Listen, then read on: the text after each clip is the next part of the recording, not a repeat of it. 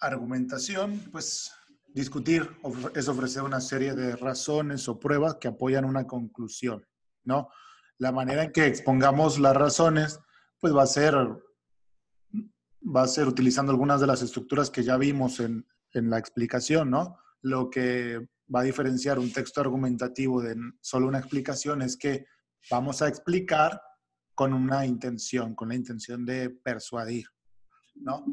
No convencer, a lo mejor persuadir, porque vamos a ver que la idea no es, no es como que imponer una verdad, sino cuestionar las verdades que se nos ofrecen, ¿sí? O sea, cuestionar, o sea, discutiendo no vamos a llegar a ninguna certeza sobre el mundo, ¿no? Pues solo vamos a, a enfocar cierto tema de mejor manera. Bueno, entonces un argumento bueno ofrece razones para que los demás juzguen por sí mismos. Entonces hay que, hay que saber mucho sobre el tema, hay que hacer preguntas sobre el tema, hay que cambiar de enfoque varias veces, hay que también como eh, prever las respuestas de los contrincantes, vamos a decir, los contrincantes a las personas que opinan distinto, ¿no? O adversarios, como le gusta a nuestro presidente. Este, nuestros adversarios, oponentes, contrincantes, lo que sea. Hay que, hay que dar todas toda la explicación clara, o sea, no, no hay que salirnos del tema, ¿sí? Eh, ¿Qué más? Hay que... Eso es importante, hay que dejar de lado nuestros deseos y opiniones y pensar de verdad. O sea, vamos a ver más adelante también, en base al, al, libro que les puse también en el drive, el de pensar rápido, pensar despacio, ese, no sé si lo han ojeado ya. ¿No? Mm, bueno, ese es, no es nada más como útil para la cuestión literaria, es útil para la vida, igual que el de semiótica. Entonces son textos que deberían leer, aunque sea de poco en poco, 10 páginas por día, así, asimilarlo tranqui. Les va a ayudar a escribir mejor, les va a ayudar a pensar mejor, ¿sí? o sea, a crecer como personas, digamos. Bueno, entonces hay que dejar de lado nuestros deseos y opiniones y pensar de verdad como todo, aprender a discutir requiere tiempo y práctica.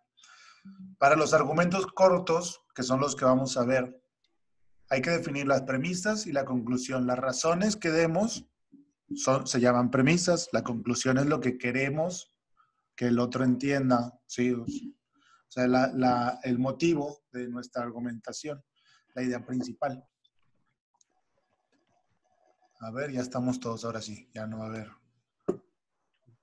un perro estaba en los establos y sin embargo, este es un ejemplo, aunque alguien había estado allí y había sacado a un caballo, no había ladrado. Obviamente el visitante era alguien a quien el perro conocía bien. Esto es de Arthur Conan Doyle, es una argumentación, una argumentación corta, ¿sí? Luego tenemos, hay que desarrollar las ideas en un orden natural. Uno o dos párrafos son suficientes. Acá viene algo de Bertrand Russell, ahorita lo vamos a, a ver con más calma, los males del mundo se deben tanto a los defectos morales como a la falta de inteligencia, pero la raza humana no ha descubierto hasta ahora ningún método para erradicar los defectos morales. En cambio, la inteligencia es fácil de mejorar mediante métodos conocidos por cualquier educador competente. Por lo tanto, mientras no se descubra un método para enseñar la virtud moral, el progreso deberá buscarse mejorando la inteligencia no la moral. ¿Te gusta? Sí. Bueno. Porque sabes qué. Mami. ¿Qué tiene que ¿Mm? Voy a. Ahorita lo ves. Importa eso. Silenciar un poquito el audio. Es que yo no. Dale ahí, Bueno, acá está. Un perro estaba en los establos y sin embargo aunque alguien había estado allí y había sacado a un caballo, no había ladrado. Obviamente el visitante era alguien a quien el perro conocía bien. La conclusión es que el criminal no era alguien a quien el perro conocía bien. Los argumentos son que el perro no ladró. ¿Sí? Está claro. Es muy sencillo. Sí, sí está claro, ¿no? Ahí. Sí, sí, sí. Ah. Bueno, ¿cuál es el argumento que, que dio? Que si el, per, si el criminal hubiera sido un desconocido, el perro hubiera ladrado, no ladró, el, criminal era alguien conocido. ¿Ok? Ese es el razonamiento. Y el que sigue, los males del mundo se deben a los, tanto a los defectos morales como a la falta de inteligencia. Aquí está, los males del mundo se deben a defectos morales falta de inteligencia. Hay que ir, vean, vean que estas palabras solo sirven como conectores. O sea, para hilar ideas. Pero los conceptos importantes son estos. Entonces, ahí como, como ayuda, siempre que tengan que leer rápido, busquen sustantivos y verbos. Igual como lo vimos en el nexo predicativo, sustantivos y verbos. Casi todo es unión entre, entre esas palabras, entre esos, entre esas este, partículas. Bueno, la raza humana no ha descubierto ningún método para erradicar los defectos morales. Acá tenemos otro concepto principal y no se puede erradicar. La idea es que no se puede erradicar defectos morales. Otra premisa, la inteligencia es fácil de mejorar. ¿Ok? Entonces, los males del mundo e, explica, se deben a dos cosas, a defectos morales, a falta de inteligencia. Como la raza humana no ha descubierto forma de quitar los defectos morales y la inteligencia fácil de mejorar, el progreso debemos buscarlo, buscarlo mejorando la inteligencia. ¿Qué les parece este razonamiento?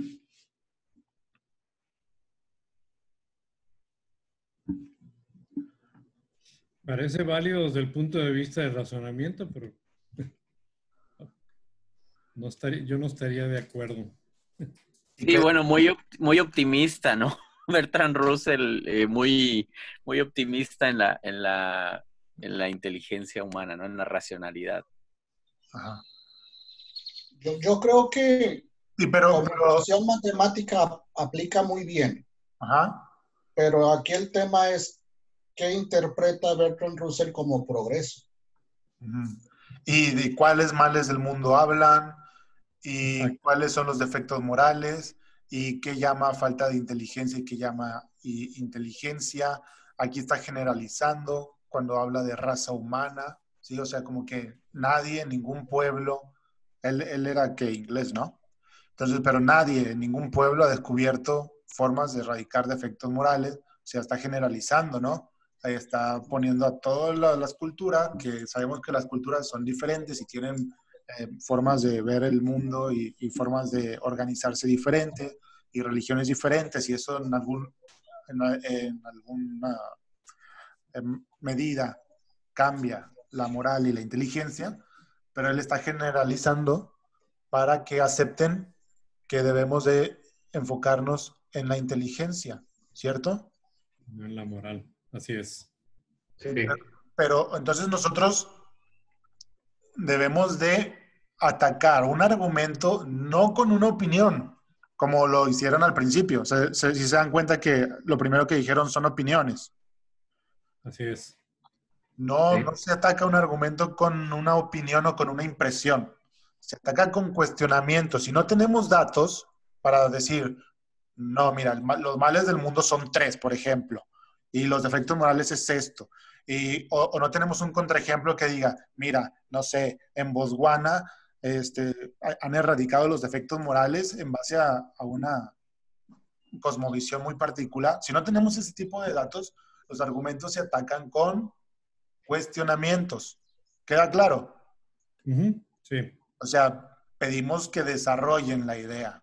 Si no estamos de acuerdo, si se nos hace que es demasiado optimista o vago o ambiguo, lo que sea, tenemos que cuestionar lo que nos parezca optimista o vago o ambiguo. ¿Se entiende? Ya, ya se va a entender mejor, estamos empezando, pero, pero ya se están dando una idea de, a dónde vamos, ¿no? Claro, sí, muy bien. Claro. Sí. Mucho mejor. Va. Acuérdense que, que los sentimientos, las emociones no son argumentos. Eso de alguna manera desvía el pensamiento crítico, ya lo vamos a ver al, al final. Bueno, hay que partir de premisas fidedignas. Eso está claro para todos ustedes, pues ya están grandes, ya son estudiados, han hecho tesis, han hecho ensayos, entonces esto es como que cosas que ya deben saber, pero bueno, la información de nuestros argumentos debe ser verificable, como en la explicación, vimos en las explicaciones, todo debe ser verificable en nuestros argumentos, de ser posible, todo lo que digamos debe ser verificable. Si no podemos argumentar a favor de nuestras premisas, como les acabo de decir, hay que buscar nuevas premisas o deshacernos de las premisas. A lo mejor no tenemos la capacidad para, para contraargumentar, pero tenemos siempre la capacidad de cuestionar con un enfoque crítico, como ya les dije hace una diapositiva, eh, una medida de tiempo. Hay que anticipar las objeciones que se pueden hacer a nuestros razonamientos. Hay que ser concretos y concisos. O sea, evitar generalizaciones, que es una cosa que vimos con Bertrand Russell. Abstracciones y ambigüedades. Todo, de nuevo, debe ser verificable. La crítica debe estar bien encuadrada, o sea, de nuestros argumentos, ¿no? Y también de los argumentos contrarios, pero vamos a enfocarnos en nuestro argumento. En todo momento debemos dejar claro qué queremos demostrar o hacia dónde vamos, ¿no? ¿Cuál es nuestra idea y por qué? Y en el libro de las claves de, la argumentación, Jorge lo leyó, ¿algún otro lo, leyó? No. ¿No? Bueno, estamos siguiendo ese libro. Este dice que ya se me fue la onda porque, porque ya, ya la emoción de, de, de estar como que compartiendo textos de Oki, no, es cierto. Este, desvió mi, mi, idea principal. Bueno, ya. La crítica debe estar bien encuadrada, esto es, en todo momento debemos dejar clara la intención de nuestro argumento. Ahorita se me, me vuelve la idea.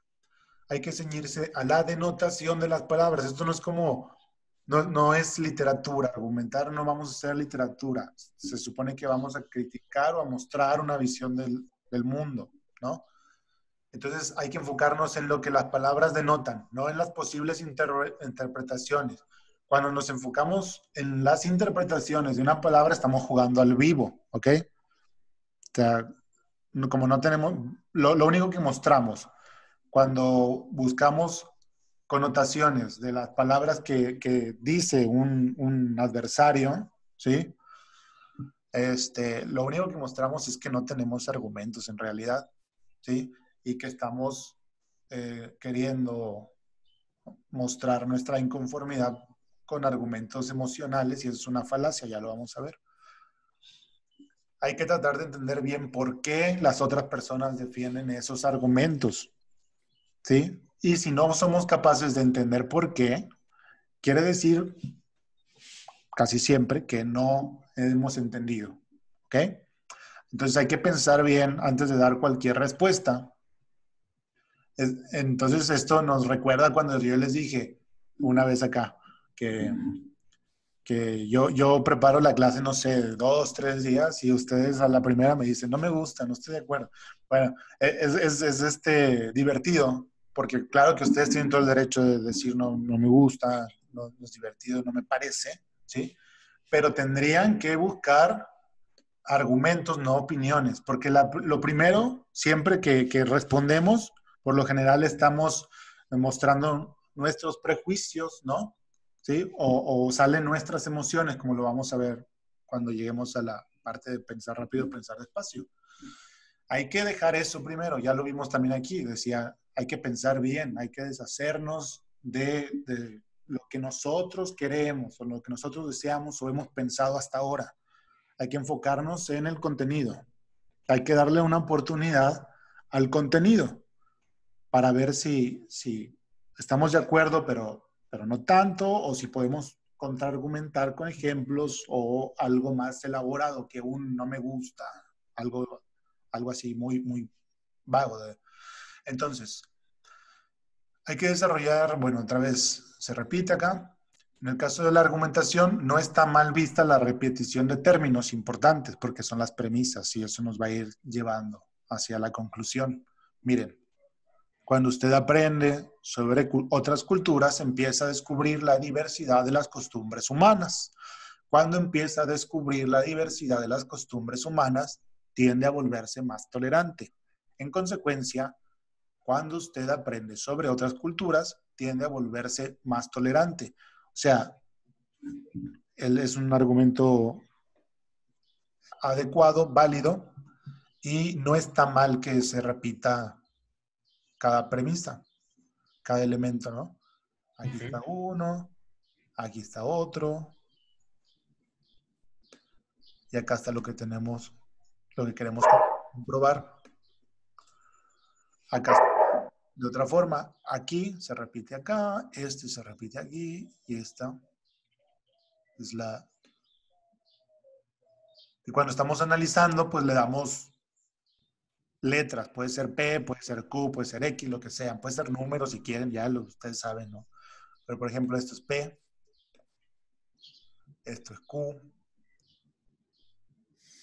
esto es Q, esto es R, y entonces tenemos P es R. ¿Está claro? Cuando P, entonces Q. Cuando Q, entonces R. Quiere decir que P, cuando P, R. ¿Está claro? Sí. Sí, ¿no? Sí, bastante. Ahora, esto está, está muy clarito porque pues es un libro sobre argumentación, sobre argumentación adecuada. Entonces todo está bien acomodado, ¿no? Pero sabemos que así no se argumenta en el mundo real, digamos, que no sabemos argumentar y que esto esto hay que encontrarlo entre mucha información vaga o mucha información destinada a perdernos y que, terminamos, que terminemos aceptando cosas que, en realidad son contraproducentes o no son adecuadas. ¿Sí se entiende, no? Sí.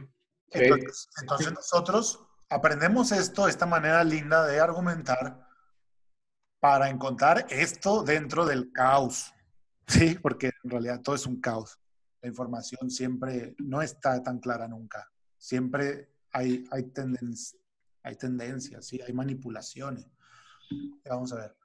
Sin ninguna de nuestras premisas puede sostenerse, no hay argumento ni hay nada. En generalizaciones sobre conjuntos pequeños, un argumento convincente debe tener en cuenta todos los ejemplos. Estos son desarrollos de lo que ya vimos desde la primera diapositiva. O sea, necesitamos datos relevantes y verificables. Entre más tengamos, más fuerte va a ser nuestro argumento. Las generalizaciones sobre grupos mayores requieren que escojamos una muestra. Y, siempre hay que preguntarnos cuán representativa es nuestra muestra, ¿sí? Para evaluar la fiabilidad de cualquier argumento que se apoye en pocos ejemplos de aparente éxito, debemos saber el porcentaje de aciertos sobre el número de intentos, ¿sí? Por ejemplo, ah, vamos a hacer un caso pues simple, un, goleador. ¿Cómo sabemos que, alguien es un, muy buen delantero? Bueno, pues tiene que meter goles, ¿sí? Entonces imagínate que, un, tipo X mete, un tipo X mete 10 goles, ha metido 10 goles en 10 partidos. Y, y un tipo Y ha metido 8 goles en 12 partidos. Si lo vemos así, pues ¿a cuál contratamos? ¿A X? ¿A X o Y? A X. Ok, y ahora vemos que X en esos 10 partidos ha jugado completos 10. Y, y Y de esos juegos ha jugado completos, de esos 12 ha jugado completos 5. Ahora, ¿a dónde vamos? Efectividad por tiempo en la cancha. Claro, porque ya tenemos otro dato relevante, ¿no?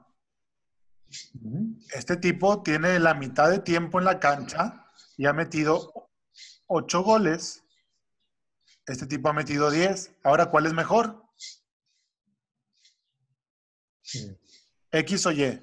Y. Y, claro. ¿Por qué? Porque este es un poco más relevante que saber cuántas veces ha disparado al arco X y cuántas veces ha disparado al arco Y. ¿Por, qué, ¿Por qué se imaginan que este dato del tiempo en la cancha es más relevante que el otro que indica cuántas oportunidades de gol ha tenido cada uno? O a lo mejor no es más relevante para ustedes, díganme algo. Por la idea de efectividad, ¿no? Ajá. Efectividad por unidad de tiempo.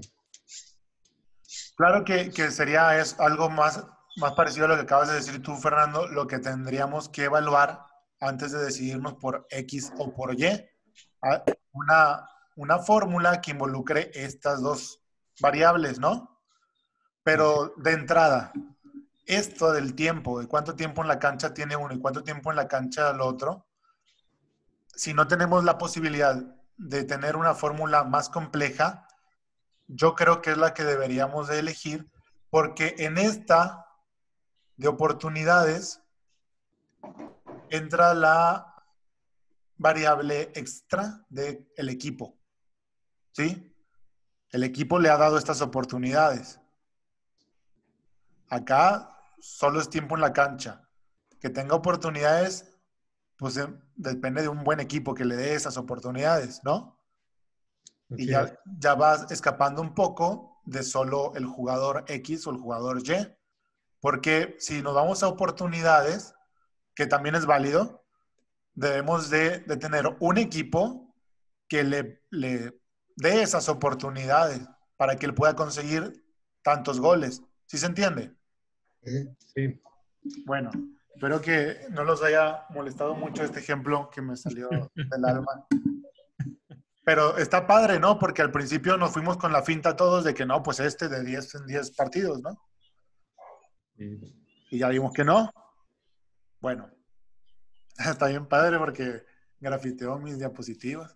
Es que entre, entre, más, entre más variables puedas medir, más argumentos tienes. Sí. Es el punto, ¿no? Pero, por, pero lo que pasa es que en el mundo real siempre nos, nos dan esto. Así es. Y esto queda oculto y esto es lo importante. Por eso necesitamos aprender a argumentar, a pensar lógicamente, etcétera, etcétera, etcétera. Bueno, ¿les gustó mi diapositiva? ¿Cómo quedó? Sí, ¿no? sí, muy bien. Gracias. Digna de un entrenador de fútbol. Sí, ¿no? Las estadísticas necesitan una mirada crítica, como ya lo vimos ahorita en el ejemplo. No hay que perder la atención cuando veamos números, que es lo que, lo que pasó de entrada. La manera de formular una pregunta puede afectar la respuesta, eso está claro también. Y lo... ¿Qué que eso para poner la papa? ¿Sí? ¿Seguro? yo, yo sí. ¿Qué fue? Entre 2019 y 2020, el consumo de televisión por parte de los niños. Ah, vean este, este ejemplo. El consumo de televisión entre un año y otro subió media hora. Y, reduciendo esto al absurdo, podemos decir que en el 2036 ya no van a tener tiempo para dormir los niños, ¿no? Porque van a pasarse el, el día viendo televisión. O sea, no dice demasiado. Parece que dice algo, pero no dice gran cosa. ¿Sí se entendió? Porque ¿qué, qué, me estás diciendo? Que cada año sube media hora la, de televisión de los niños, ah, bueno, pues en, un año más va a ser media hora más y en, dos años va a ser una hora más y pronto ya no van a tener tiempo para hacer nada, pobrecitos. No, no está bien encuadrada la, argumentación, ¿se dan cuenta? Así es. Es, buscar al amarillismo, pero por lo común pensamos que esto dice algo, pensamos que era una, una reacción emocional, ay, qué bárbaro, ¿no? Pues no, no es una buena estadística de entrada. Ahora, los contraejemplos son la mejor forma de poner a prueba las generalizaciones. Acá tenemos una generalización. Las patatas fritas no son buenas para la salud, demasiadas grasas. Los batidos no son buenos para la salud, demasiadas grasas y azúcar. El pollo frito y las hamburguesas con queso no son buenos para la salud, demasiadas grasas. Por tanto, toda la comida rápida es mala para la salud. ¿Qué les parece este argumento? Es, un silogismo falso. Claro, está generalizando. ¿Por qué? ¿Cuáles son las preguntas que haríamos? ¿Qué significa demasiadas grasas y azúcares? Sí, porque también eso es importante, ¿ven? O sea, lo que hace mal entonces son las demasiadas grasas y, las de, y la demasiada azúcar, ¿no? Que también la puedes encontrar en comida no rápida. Claro. ¿Y, y cómo podemos también apoyar o refutar esto de toda la comida rápida? Es que no es toda la comida rápida que existe. Claro, hay comida rápida saludable. Hay comida rápida que no tiene alto contenido en grasas y azúcares. Entonces necesitaríamos, depende de qué lado estemos, ¿no? Pero imagínense que nosotros somos los que queremos argumentar esto, pues tendríamos que reformular nuestro planteamiento, ¿no? Porque no es toda la comida rápida esto, ¿no? Las patatas fritas, los batidos y el pollo frito no es toda la comida rápida. Hay también Subway, hay también ensaladas que funcionan como comida rápida. O sea, no, no es un buen planteamiento. Así es. Bueno, ya lo vimos. Yo me adelanto, ¿no? Aquí tengo algo más limpio y echo a perder el pasado. Pero bueno, ya vimos. Toda la comida rápida, esto no es toda la comida rápida. Puedes decir mejor que las grasas hacen mal, que el azúcar hace mal y que alguna comida rápida, la mayoría de la comida rápida, pues abunda en grasas y en azúcar. ¿Por qué? Porque buscan el, el, sabor, ¿no? Y no la nutrición, etcétera, etcétera. O sea, otras formas, pero esto, no. Los argumentos por analogía hacen énfasis en la similitud entre dos casos. Eso lo vimos la vez pasada con la comparación entre el aparato fónico o fonador y, el, era que era un, una grabadora. Las analogías requieren similitudes relevantes. Acá hay una, una, una argumentación que se hacía en favor de la existencia de Dios, ¿ok? Ahora, que critiquemos la construcción de las argumentaciones no quiere decir que estemos a favor o en contra de lo que se propone, ¿sí? Porque nosotros podemos creer en Dios y decir, esta argumentación no es válida, ¿sí? O no creer en Dios y decir, esta argumentación es interesante.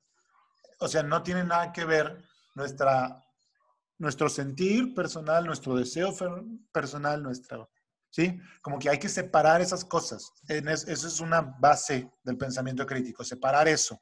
Como cuando hacemos lecturas críticas y lecturas normales, así nada más de placer. Es lo mismo. Debemos de separar esas, esa, una cosa de la otra. Entonces tenemos las casas bonitas y bien construidas, deben tener hacedores, diseñadores y constructores. El mundo es como una casa bonita y bien construida.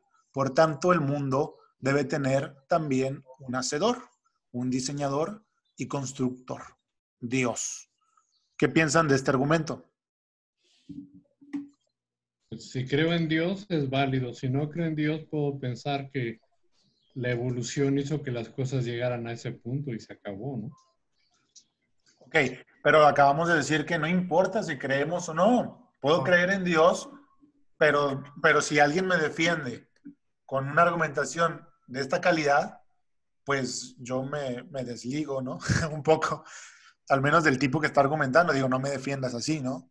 Este, ¿Por qué? Porque lo más importante, pues, es la, veracidad de los argumentos, ¿sí? Porque me estás, me estás defendiendo con mentiras o con engaños o con argumentos falsos. O sea, podemos creer o no creer, sí, eso es válido. Y tendríamos que ser capaces de que, aunque creyéramos, decir este argumento no sirve. ¿Ok? Ok. Este es el pensamiento crítico. ¿Sí? Yo digo, sí, yo apoyo a este partido político, pero lo que está diciendo está mal. O sea, lo que está diciendo el presidente de mi partido está, está mal, está mintiendo. Y tendría que estar bien y no tendría que ser mal visto.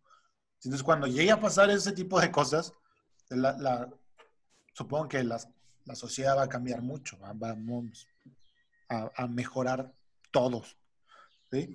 Pero mientras no, quiere decir que estamos trabajando desde la emoción siempre. Como dijo Fernando, si yo creo en Dios, digo que sí, y si no, pues lo ataco. Y no es así. Porque, pues, no, el pensamiento no, No tiene que tener nada, nada de conexión directa con la emoción. Nadie es experto en todo, así que debemos investigar nuestro tema en fuentes confiables y es importante citar las fuentes que tengamos. Las autoridades en una materia no están necesariamente bien informadas sobre cualquier tema sobre el cual expresan sus opiniones. Eso lo estamos viendo bastante ahora, ¿no? Que le preguntan a actores qué piensan del coronavirus o a, futbolistas qué piensan del coronavirus o los escritores todos hablando del coronavirus. O sea, eh, sí lo han visto, ¿no? Así es. Ok, no quiere decir que no puedan hablar sobre el coronavirus. ¿Sí? Todos podemos dar una opinión si tenemos una buena preparación para, ejercer el pensamiento, ¿no? Para pensar y reflexionar, que todos deberíamos tenerla.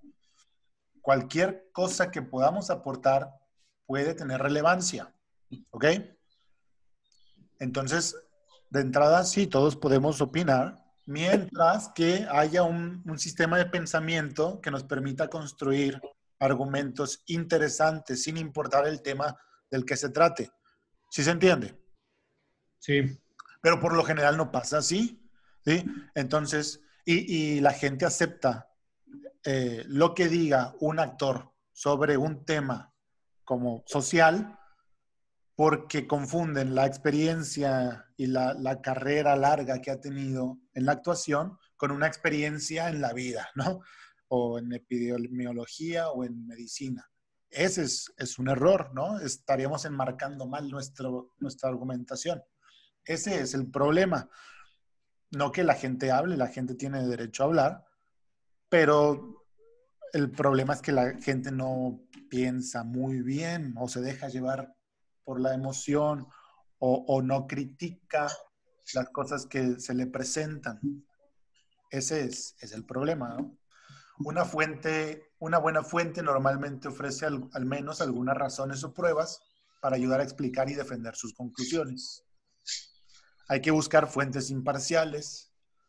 Las personas que más se juegan en una disputa raramente son las mejores fuentes de información sobre los temas de los que trata la disputa. Hacer declaraciones extremistas o simplistas o pasar la mayor parte del tiempo atacando o degradando a los adversarios debilita nuestra propia posición. Hay que verificar y comparar fuentes siempre. Los argumentos sobre las causas y sus efectos nos permiten aumentar los efectos positivos, evitar los negativos y a menudo atribuir el mérito o la culpa a quien corresponda. Los argumentos causales empiezan con correlaciones, asociaciones regulares entre dos tipos de evento. Las personas que practican la meditación, este es un ejemplo, tienden a ser más tranquilas. Por lo tanto, practicar la meditación tranquiliza a las personas. ¿Qué piensan de este argumento? Yo pienso que no es definitivo. porque no a todos nos va a ayudar. No, hay forma de generalizar. Ajá. ¿Alguien más? Bueno, lo que pasa es que no, pues, yo siento que no generaliza. Aquí está diciendo las personas que practican la meditación. Probablemente los que no lo han practicado no se dan cuenta que, también los puede tranquilizar. Mm. Pero ahí está suponiendo que entonces que las personas que practican la meditación eran personas intranquilas. Exacto, ¿sí? Estás suponiendo, suponiendo que las personas intranquilas pueden tranquilizarse por medio de la meditación, porque aquí está diciendo que la meditación tranquiliza a las personas y está dejando de lado el hecho de que a lo mejor las personas tranquilas son las que buscan la meditación por eso mismo, que son tranquilas y que va de acuerdo a lo que son, ¿cierto? Así es. Una persona que sea inquieta a lo mejor va a buscar hacer deportes extremos, ¿no? Y, podríamos decir también entonces que los deportes extremos hacen que las personas sean más dinámicas.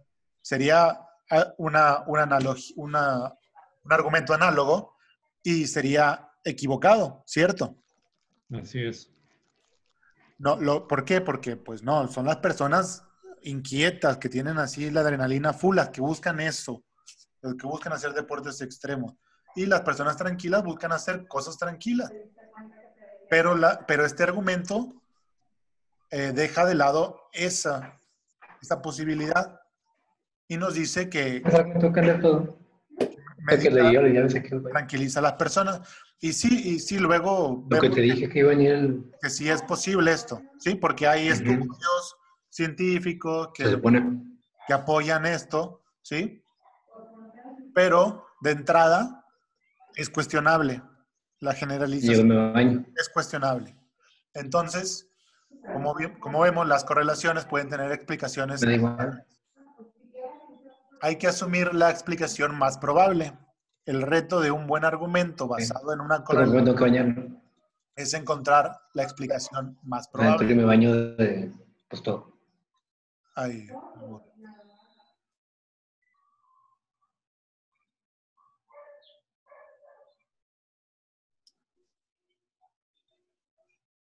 Ya, disculpen, no es obligatorio, de nuevo, no es obligatorio tener respuestas para todo.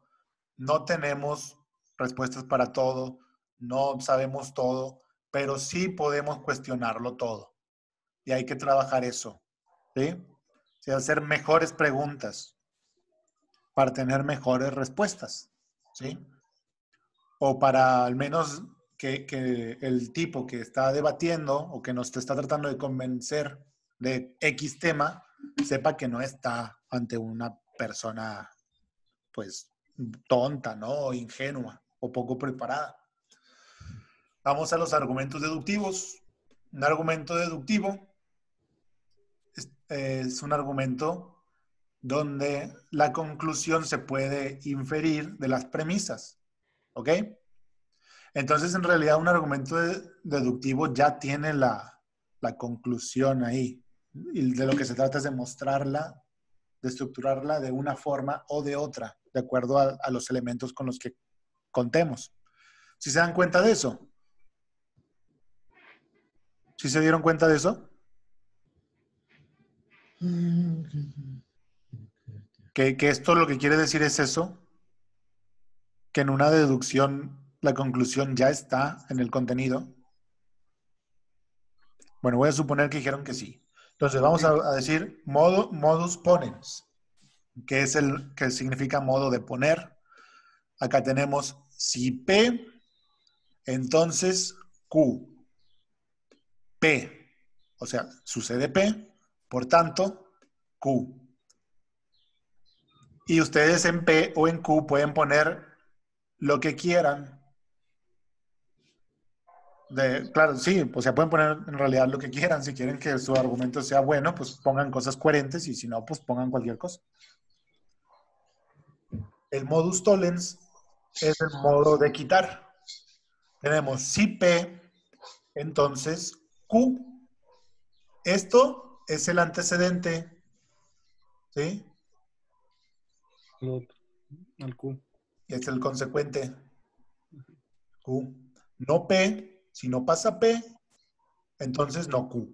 No hay Q. ¿Ok?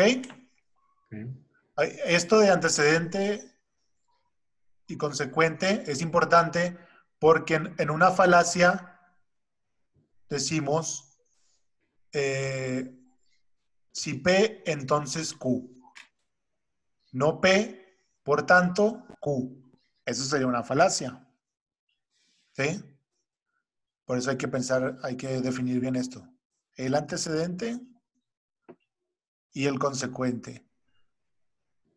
¿Ok? Pero ahí hay un margen de opino. Porque puede haber Q sin que haya P. Claro. para el modus tollens tendríamos que decir, sí, solo sí P, entonces Q. Sí, es, un argumento, una correlación causa y efecto. Puede ser que en el libro pues está, si las carreteras están heladas, si P, si las carreteras heladas, P son las carreteras heladas, el correo entonces, llega tarde. Correo llega tarde. No están heladas las carreteras, entonces no llega tarde el correo, que es lo que tú estás formulando. Y eso es un argumento válido, pero no es verdadero necesariamente, ¿sí? Porque el correo puede llegar tarde por otras razones. Así es. ¿Ok? Por eso tenemos que tener mucho cuidado con este tipo de argumentos, para no dejar pasar alternativas. Luego tenemos el silogismo hipotético. Si P, entonces Q. Si Q, entonces R. Por tanto, si P, entonces R. ¿Ok? Porque indica que si P, necesariamente Q. Si Q, necesariamente R. Entonces, si P, necesariamente R. ¿Ok? Acuérdense, son formas de estructurar. Y como vimos, puede haber contenido falso. O sea, una cosa es que, como ya lo mencionó Fernando, que un argumento sea válido y otra que sea verdadero. Y en realidad, si somos rigurosos, a la lógica no le importa la, la veracidad, le, le, importa la validez de los argumentos. ¿Sí queda claro? Sí. O sea, no, no importa si es verdad, importa que sean válidos. O sea, importa la forma del argumento, no la veracidad. Eso es pertinente a otra, a otra disciplina. ¿Se entiende? Es como, como la lingüística. A la lingüística no le importa si, si lo que estamos hablando, lo que estamos diciendo es verdad en el mundo o no. Importa si está bien estructurado sintácticamente y si tiene sentido, o sea, semánticamente. ¿Queda claro eso? Sí. O sea, es curioso porque por lo general pensamos que, debe haber alguna relación, ¿no? Pero no, no hay, un, no hay necesariamente una relación. Cada disciplina se ocupa de lo suyo. Bueno. Bueno, aquí tenemos este argumento del silogismo hipotético, es este. Cuando usted estudia otras culturas, si P, entonces Q. Empieza a descubrir la diversidad de las costumbres humanas. Otra vez, Q. Cuando empieza a descubrir la diversidad de las costumbres humanas, ahí viene R, se vuelve más tolerante. Entonces volvemos a P. Cuando usted estudia otras culturas, R, se vuelve más tolerante. ¿Eso sí quedó claro? Sí. Bien. Silogismo disyuntivo. Tenemos P o Q. No P, por tanto, Q. El de Bertrand Russell queda o progresamos mejorando nuestros valores morales, P, o, o lo hacemos mejorando nuestra inteligencia, Q. No podemos esperar ningún progreso, o sea, no P, intentando mejorar nuestros valores morales, por tanto, Q. Debemos progresar mejorando la inteligencia, ¿ok? Y de nuevo, es un argumento válido no necesariamente verdadero, solo son formas de estructurar el contenido de un argumento, porque obviamente puede ser falso, pero es válido. Esta es la forma de estructurar un razonamiento así. El dilema, P o Q. Si P, entonces R. Si Q, entonces S. Por tanto, R o S, ¿ok? Que es una variación del, del modo anterior. Priorizamos la salud, P, o priorizamos la economía, hablando de la pandemia, ¿no? Si priorizamos la salud, habrá una mayor crisis económica. Si Q, priorizamos la economía, habrá una mayor mortandad. Por tanto, la decisión es entre habrá una crisis, una mayor crisis económica o habrá una mayor mortandad. Ok, este razonamiento es válido. Ahora, es una cuestión compleja, ¿sí o no? Muy compleja. Es bastante complejo y entonces eh, podemos entender de algún modo, si pensáramos lógicamente, en vez de atacar todo lo que vemos a favor o en contra, y pensamos que, que en realidad la, la gente que tiene que tomar decisiones está ante un dilema de esta naturaleza, y no importa si es, si es bastante preciso o no, no, no necesitamos tener datos para, para saber esto, que es más o menos el dilema al que se enfrenta cualquier persona que dirija un país, podemos ser un poquito más conscientes, ¿no? Así es. Porque vean lo que se está jugando, ¿sí? Y esto, obviamente, si elegimos una u otra cosa, va a pasar lo otro. Pero puede pasar en, en diferentes medidas. Entonces, es una cuestión bastante, bastante compleja. ¿Están de acuerdo? Sí. Es. Bueno, seguimos. Estructura de re- reducción al absurdo. Para que vean que no estoy a favor o en contra de, de nadie, solo estoy a favor o en contra del pensamiento adecuado. Reducción al absurdo.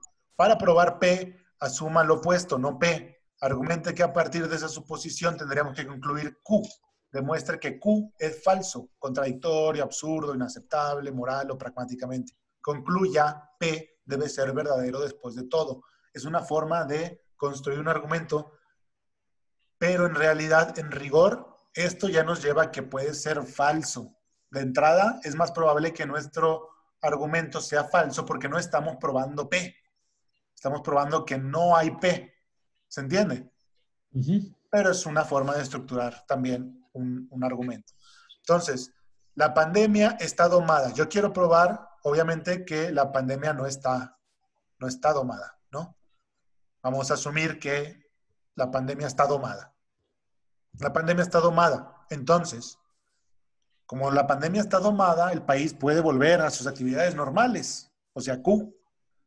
Luego, vemos una complicación para Q.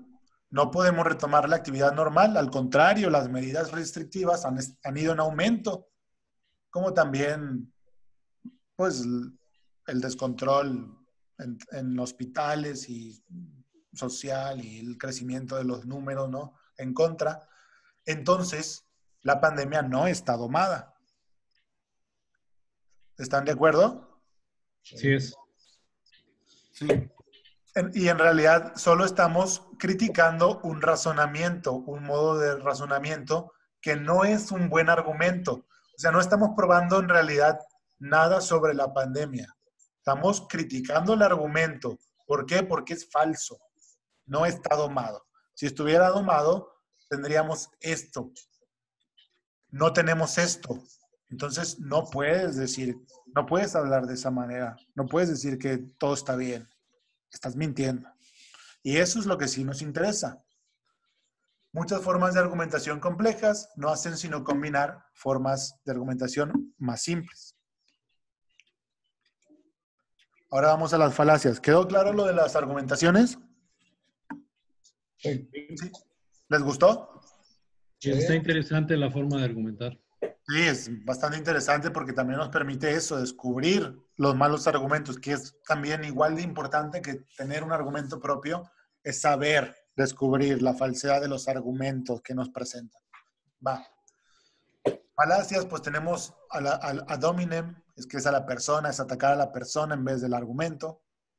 A la ignorancia, argumentar que una afirmación es verdadera solo porque no se ha demostrado que sea falsa. Y ahí a la ignorancia tenemos una, una argumentación de López Gatel, más adelante vamos a ver, que dijo que, que no se ha demostrado que restringir la entrada y la salida de, de, gente al país sea beneficioso. O sea, no, no está diciendo que, no está dando un argumento sólido, está apelando a la ignorancia. Como no se ha descubierto esto, entonces lo otro. Y es una falacia. Apelación a la misericordia, apelación a la lástima, argumento que busca conmover para recibir un trato especial. Por ejemplo, si yo les pido una tarea para el sábado a X hora y ustedes me dicen, este, una hora después o un día después, mire, chéquemelo, es que pasó Y, estarían haciendo esto. Están apelando a la lástima, ¿sí? O sea, no están argumentando nada. Esto no es un argumento para no entregar la tarea a tiempo. Es un argumento propio de una cosa ajena. En realidad yo no tendría que dejarme conmover, pero lo hago, ¿no? ¿Por qué? Porque están desarrollando una falacia. Ad populum, apelar a las emociones o acciones de una multitud, porque todos lo hacen, entonces X, ¿no? Afirmar el consecuente, si P, entonces Q, Q, por tanto P. O sea, ese es un razonamiento inválido porque lo que debe repetirse es P, no Q. Estamos diciendo si P, entonces Q. tenemos Q, no quiere decir que pase P. Petición de principio usa implícitamente la propia conclusión como premisa y el libro da el ejemplo de Dios existe, tenemos después porque lo dice la Biblia y tenemos después y la Biblia la escribió Dios, entonces Dios existe. Esta es una falacia. O sea, no quiere decir, de nuevo, nada contra la existencia o la inexistencia de Dios, quiere decir que el argumento es inválido. Cuestión compleja. Poner una pregunta de tal forma que la gente no pueda estar de acuerdo ni en desacuerdo sin comprometerse también a otra afirmación que usted desea promover. Y acá, este, acá se me ocurrió un ejemplo, pues, porque es re común entre los hombres, supongo que también entre los grupos de, mujeres, o sea, en cualquier grupo, donde llega un amigo y te dice, entonces, ¿qué? ¿Vamos a salir hoy o eres X cosa, no?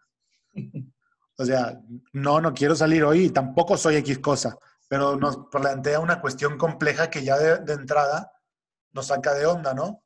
O, nos, nos persuade, ¿no? O nos o limita nuestra, nuestro enfoque racional. ¿Sí se entiende? Sí. ¿Por qué? Porque si no es, porque si no hago eso, entonces soy esto, ¿no? O sea, si no salgo, soy esto. Y mucha gente sí le da importancia a eso, ¿no? A, a otra no. Bueno, ya, yo no voy a dar ejemplos de esta otra gente. Negar el antecedente, pues ya soy uno. negar el antecedente, si P, entonces Q, no P. Por lo tanto, no Q.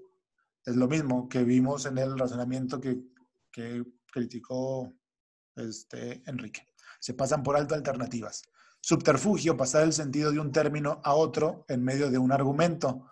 De esto vamos a saber un ejemplo hacia el final, pero quiere decir que Sí, o sea que en medio de, del argumento cambiamos de enfoque y, ya no se sigue de las premisas la conclusión que proponemos. En el libro dice, eh, ah, sí, claro, de la igualdad entre los hombres o las mujeres. Dice, los hombres y las mujeres no son iguales biológicamente, entonces este, los hombres y las mujeres no deberían tener los, los mismos derechos. ¿Sí se entiende? Que, que, no es un buen argumento, porque estamos hablando de cosas distintas. ¿Sí? O sea, sí, biológicamente, pero legalmente todos deberíamos de tener los mismos derechos. ¿Está claro? Está claro. Pero bueno, esto, ese tipo de argumentación es una falacia y se llama subterfugio. Causa falsa. Cualquier conclusión cuestionable sobre causa y efecto. Falso dilema, reducir las opciones que está teniendo en cuenta a dos nada más.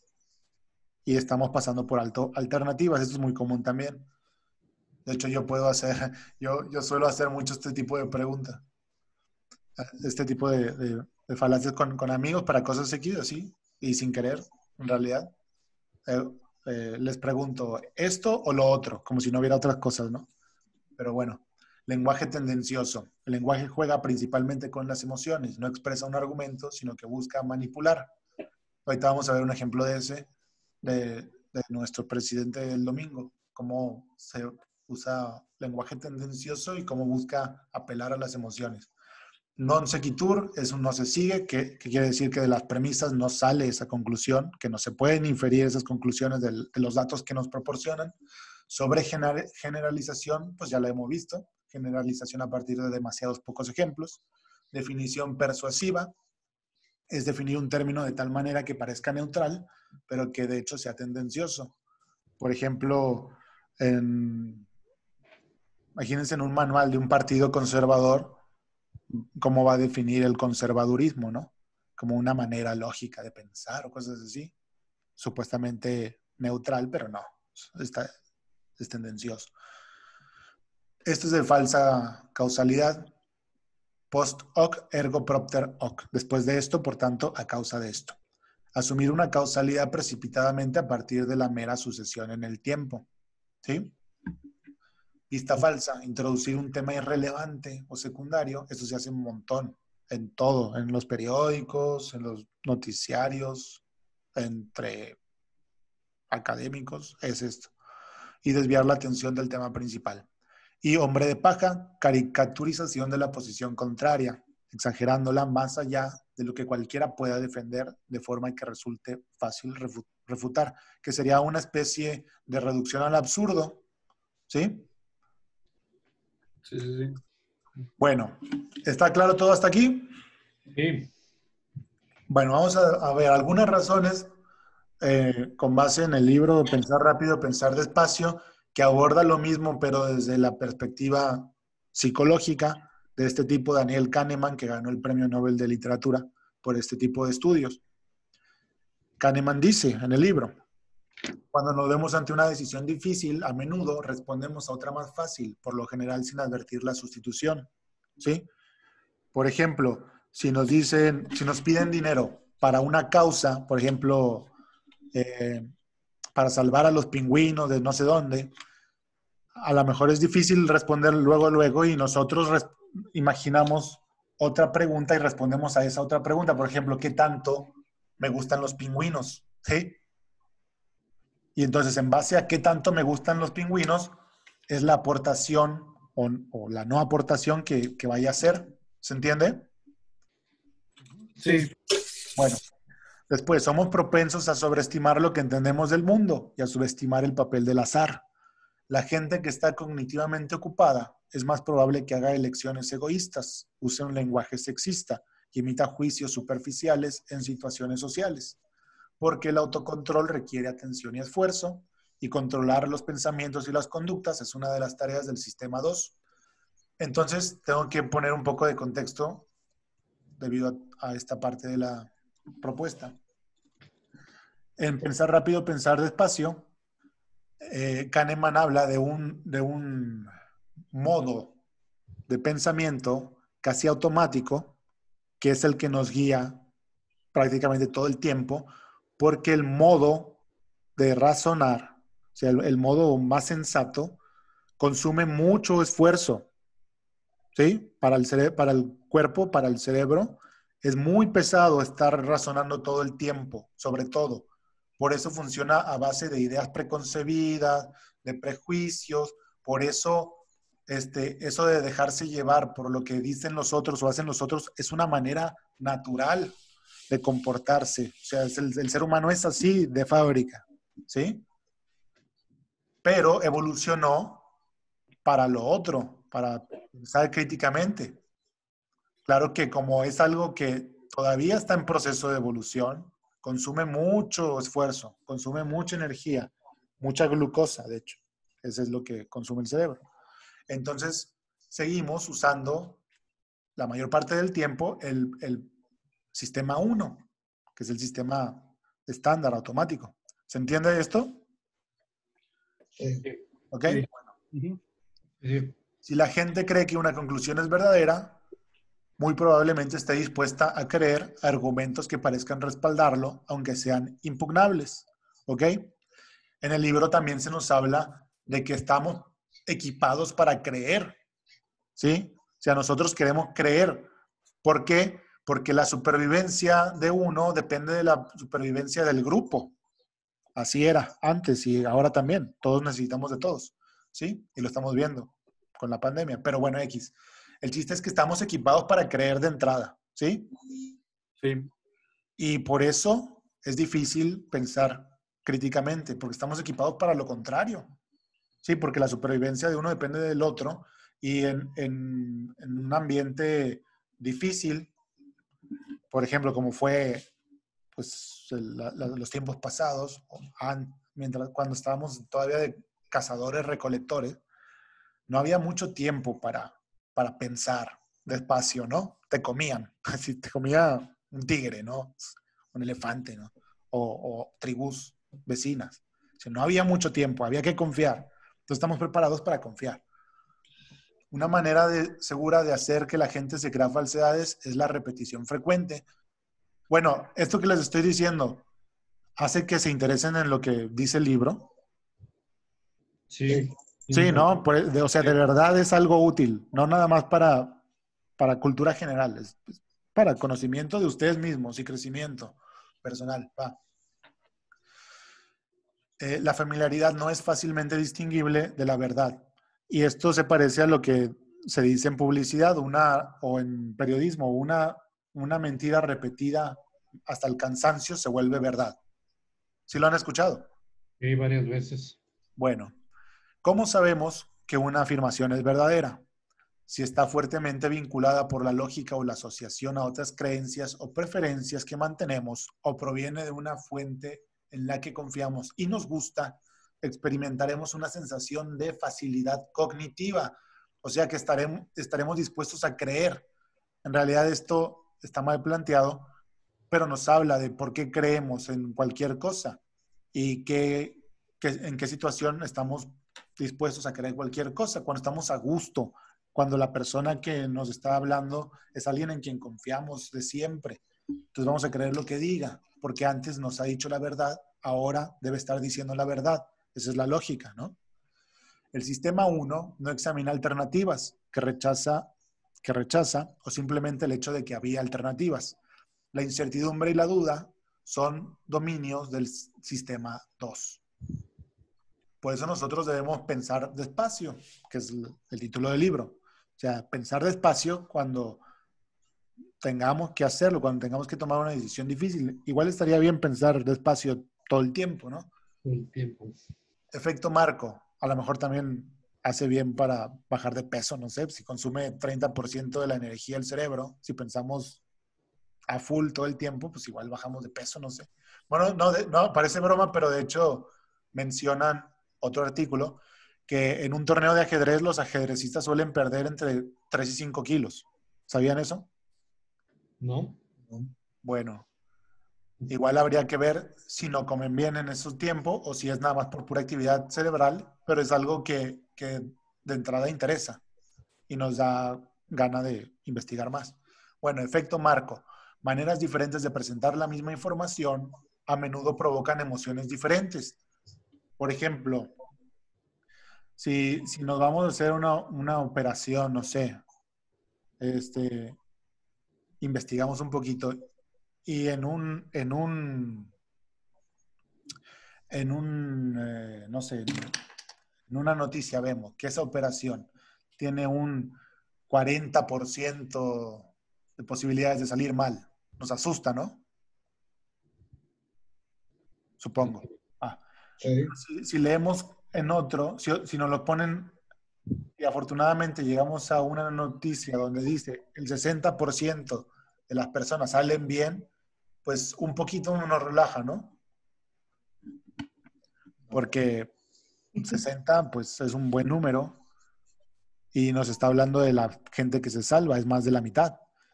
Y 40, que nos digan 40 personas mueren, se ya estás poniendo primero que se puede morir, ¿no?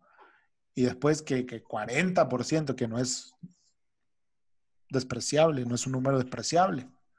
Entonces, eh, maneras diferentes de, presentar la información provocan reacciones diferentes.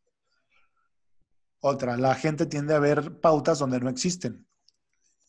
Hay algo que se llama heurística de la disponibilidad, que es el proceso de juzgar la frecuencia, o sea, de juzgar que algo pasa con mayor frecuencia que otra cosa, nada más porque tenemos más facilidad de recordar ese suceso. ¿sí? O sea, siempre juzgamos erróneamente en base a lo que nosotros conocemos o a lo que podemos recordar. Por eso no debemos confiar tanto en nuestros pensamientos rápidos. Situaciones en las que la gente se deja llevar por la corriente cuando están al mismo tiempo comprometidas con otra tarea, cuando están de buen humor, cuando, básicamente este también es cuando están de buen humor, eh, cuando son principiantes que creen saber del tema de la tarea, cuando dan de una alta puntuación en una escala, escala de confianza en la intuición, esto también básicamente es cuando están de buen humor, cuando son o se les hace sentirse poderosos, y esto va como que también al buen humor, cuando están de buenas te van a creer, entonces un, un manipulador lo que busca primero es ponerte de buenas, piensen ahora en vendedores, ¿Y cuál es su primer acercamiento hacia ustedes? lo que busca es ponerlo de buenas, ¿no? Hasta los, los vendedores ambulantes que te dicen, pásele güero por la carga que tiene güero. Si alguien te dice güero, ¿no? Y, imaginas la carga semántica que tiene la palabra güero, pues es, eh, todavía vivimos en una sociedad racista y clasista, donde ser rubio es algo deseable y ser moreno no. Entonces, si alguien te dice güero, tiene esas connotaciones, la palabra güero. Y esas, y esas connotaciones, aunque no lo, no lo lleguemos a razonar conscientemente, sí cambian nuestro modo de, de relacionarnos con la persona. ¿Sí se entiende? Sí, está claro. O sea, sí influyen a nivel inconsciente. Si no estamos preparados, entonces podemos ser influidos de esa manera tan sencilla, ¿no?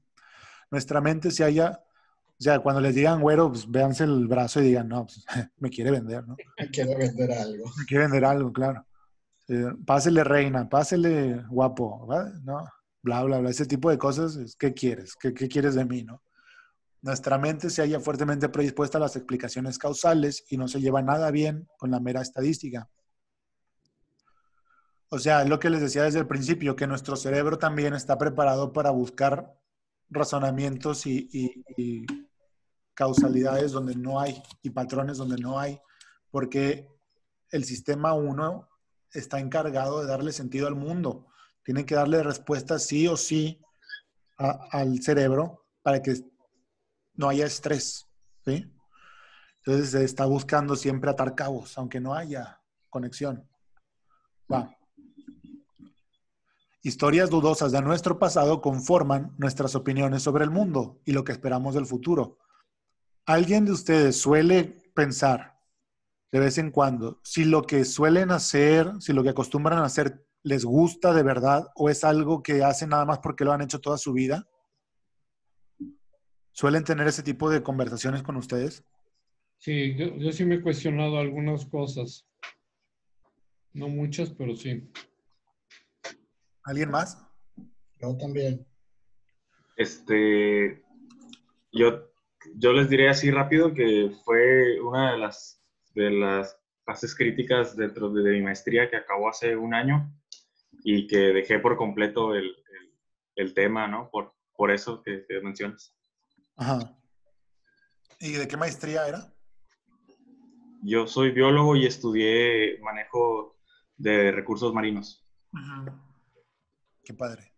Bueno, eso es algo, es algo muy válido y es algo necesario. O sea, muchos tenemos, tenemos miedo, la verdad, a, plantearnos ese tipo de cuestionamientos porque pensamos que no podemos ser de otra forma.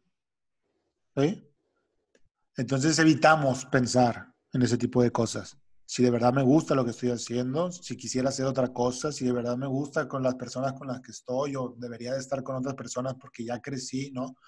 Entonces eso nos impide de alguna forma madurar y conocernos y crecer como personas, seguir en lo mismo. Por eso es, importante que todos nos cuestionemos siempre, sin importar que sí, nos vamos a encontrar cosas que no nos gustan, pero eso es bueno porque es, es el primer paso para cambiar, ¿no? Y para ver qué somos ahora y cómo hemos ido creciendo y bla, bla, bla, para tener una vida más tranquila, ¿no?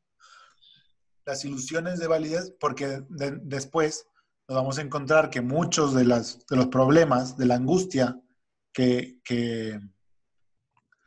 sufren las personas, la, angustia existencial, viene de eso, de que lo que ellos quieren no es lo que la sociedad les pide y a, lo que se someten.